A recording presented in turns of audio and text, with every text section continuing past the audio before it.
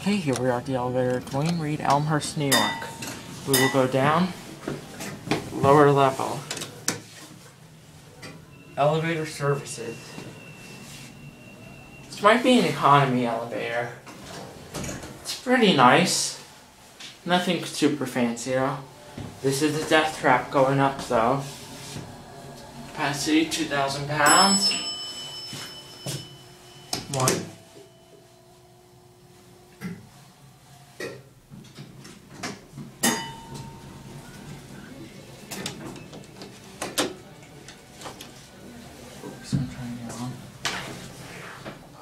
Okay, listen to this. Holy shit, this is death trap. Okay, that is it.